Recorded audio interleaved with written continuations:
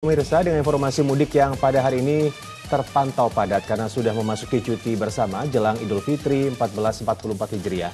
Di jalur arteri Karawang, Jawa Barat, kendaraan roda 2 meningkat 70 persen dibanding hari biasa.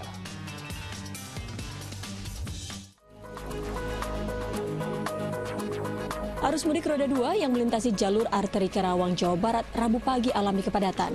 Memasuki masa cuti bersama dan libur lebaran, para pemudik pun berbondong-bondong dari arah Jakarta menuju Cirebon dan Jawa Tengah. Tingginya volume kendaraan terpantau sejak selasa malam di jalur arteri. Pengendara roda 2 yang kelelahan akibat mengalami kemacetan, rehat sejenak di bahu jalan, membuat arus lalu lintas pun terganggu. Dari mana mau ke mana Pak? dari Ciledug, Tangerang mau ke Pekalongan. Kalongan. Ya, Kondisi jalan gimana Pak? Macet. macet. Macet parah. Parah. Parah ya. Kendaraan roda 2 sengaja dipilih sebagai angkutan untuk mudik, selain dianggap lebih efisien, juga lebih cepat sampai ke tujuan. Sayangnya, para pemudik yang menggunakan motor masih kerap membawa muatan berlebih hingga berpotensi membahayakan jiwa.